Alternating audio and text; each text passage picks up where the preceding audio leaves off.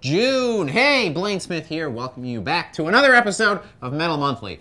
Bangers look at hey, what's coming out in that month? And that month being June. As always, we have our Patreon. You can support us on there. Keep shows like this coming out. And you know, we've got some new things in the works on over there, so you might want to keep an eye on that channel. As always, if you want to keep an eye on me and hear most of the albums I talk about, come on over to my Twitch channel.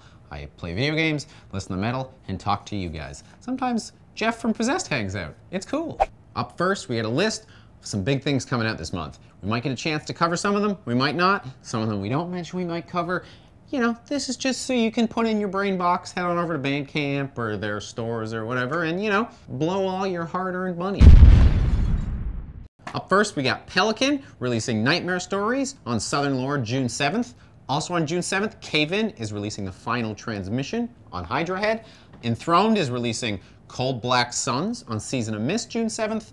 Uh, Hate is releasing Auric Gates of Veles on Metal Blade Records June 14th. Pinkish Black is releasing Concept Unification on Relapse on the 14th. And Memoriam is releasing Requiem for Mankind on Nuclear Blast June 21st. So that's what's coming out. But as always, I have crawled through the depths of Bandcamp with an onslaught of weird band names and terrible cover art to find you the five best tink tink tink hidden gems coming out this month that I think you should put in your earballs. So the first record I want to talk about could have been the palette cleanse I do at the end, but I'm just so pumped about it, it's got to come first. Lunar Shadow is releasing Smokeless Fire on Cruz del Sur Music. Hey, those guys are pretty cool, eh? On June 21st.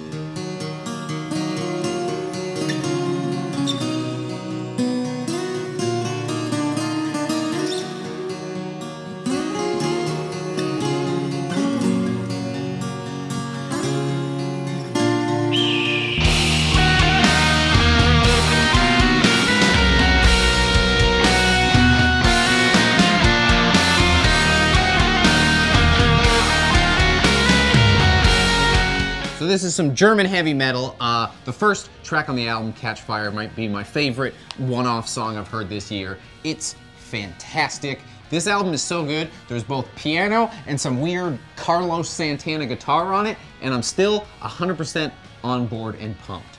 If you're like, hey man, I wish Ghost sounded good, uh, hey, this is the band for you. Just a really great record. Every song just is like, yeah, mm, it's like if Come Lift Me Up Where Love Belongs. Is that the name of that song? If that was like metal, like just the feeling normal humans get for that, if you wanted that feeling in metal, this is it. Up next, we have an EP, and I, I normally don't include EPs in here. I broke my rules, but I'll explain why after we take a listen to Ripped to Shreds, Demon Scriptures, and on Pulverized the Record, June 14th.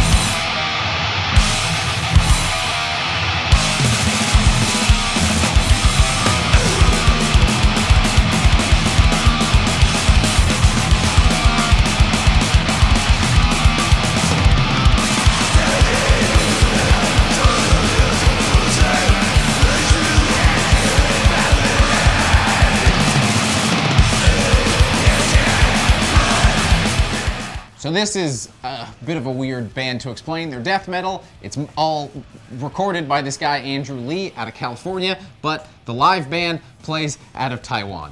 I don't know how it works, but it works. Uh, the cover, we've got some Asian brutality for a change instead of our regular generic Western brutality by Velio Josto. So mixing it up.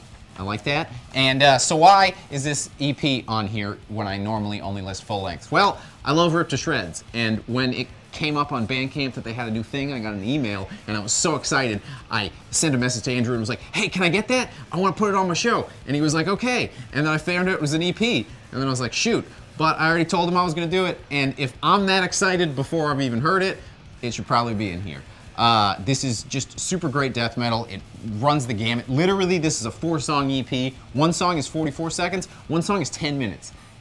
That's the range he manages to cover in one EP. If you're not on the Ripped to Shreds train, buy a ticket, wait in line, because there's a bunch of people trying to get on that train. It's going to be one of those, you know, jamming everybody on their conductor situations, but get on while you still can. Okay, I feel like I've been talking too fast, so let's slow it down both me-wise and music-wise. Ah, connection. Slomatics are releasing Canyons on Black Records June 14th.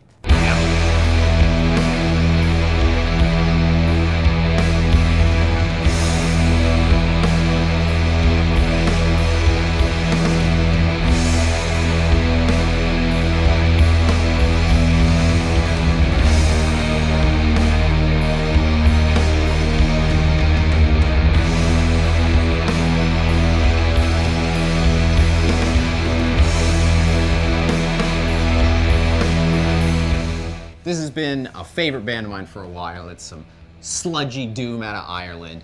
Uh, great. Oh man, that cover. Look at that cover. Is it behind me? I think it's behind me.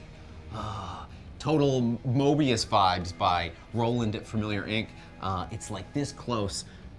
Their Slomatics' older album, Estron, is like one of my favorite top five album covers of all time. This doesn't beat it, but damn, it's close.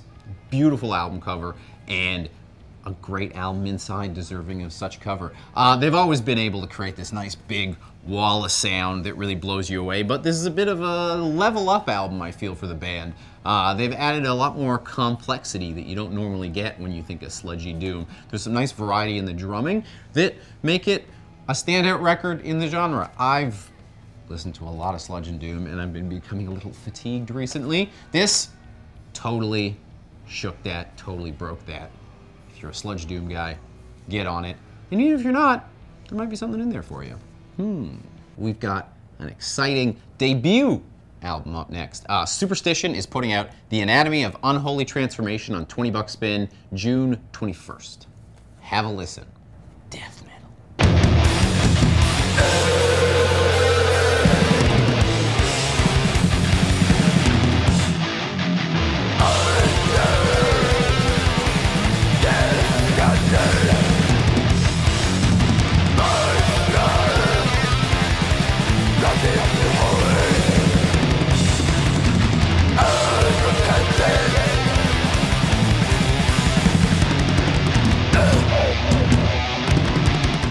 So yes, this is death metal out of New Mexico. Uh, the cover art by Yurim Chung uh, is so good. There's a long sleeve of it. I'm gonna purchase a long sleeve in June. That makes no sense. That's how much I like that cover. Uh, what we have here is, hey, you have a hard time getting by until that new Tomb Mold record comes out? Well, why not buy the record of the guys touring with Tomb Mold right now that are making some Tomb Mold level shit? Uh, they put out two super awesome demos, and this really, really lives up to them. Great debut album. Uh, totally crazed vocals that are just, I love it when someone sounds like they're really losing it. And the drums are awesome, and the way they're recorded, it sounds like you're sitting playing the drums. It's all coming at you from around you. Great effect, great sounding record. Highly recommend. And thus brings us to our palate cleanse. A little something that's a little less extreme, although we started with a palate cleanse as well. So you know, just just come in clean, leave clean. That's how we do it here. Uh, Vulture is releasing Ghastly Waves and Battered Graves on Metal Blade June 7th.